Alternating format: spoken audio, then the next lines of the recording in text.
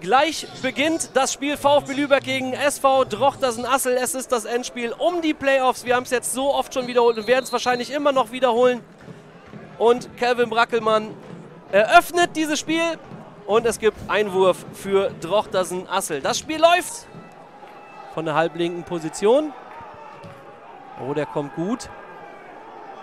Und der ist drin. 1 zu 0 für Drochtersen-Assel.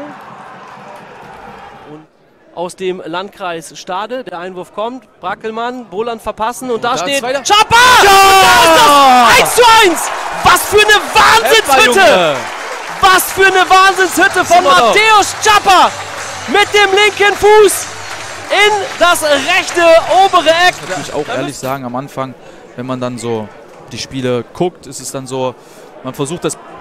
Oh, super gehalten von Erik Gründemann und da ist das 2 zu 1 für Drochters Nassel. Jetzt, wo wir hier so quatschen. Eckstoß VfB Lübeck. Der Ball kommt in den 16er, da Gut steht Köis. Ja! Da ist es! Bombe! Da ist es! Tommy Gruppe äh. und die Normühle explodiert! Da ist es doch! Ja, so haben wir uns das doch gewünscht. Spannung bis Da ist es! Ich sag herzlichen Glückwunsch, Alex Schmidt, stellvertretend für den VfB Lübeck.